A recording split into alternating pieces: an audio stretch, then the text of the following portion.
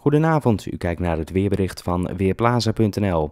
Op deze satellietfoto van ongeveer half twee vanmiddag zien we witte wolken plukken boven het land. Dat zijn buien die van west naar oost over het land trokken. En daarbij kwam ook onweer voor en rond de grote meren zijn zelfs waterhozen gesignaleerd. Vanavond gaan de buien in het binnenland afnemen. Aan de kust blijft nog wel steeds kans op een enkele regen- of onweersbui en dat geldt ook voor de nacht. In het binnenland klaart het behoorlijk op en koelt het af naar zo'n 10 of 9 graden. Aan de kust een graad of 13 met nog steeds een stevige wind. Morgen overdag dan breiden de buien zich weer over het hele land uit. En net als vandaag is er ook kans op onweer en plaatselijk valt wel veel regen. Het wordt 16 of 17 graden met een stevige wind, zeker aan de kust. Ook zaterdag, zondag en maandag blijft het nog wisselvallig weer, al zien we later in het weekeinde en op maandag het aantal buien wel afnemen.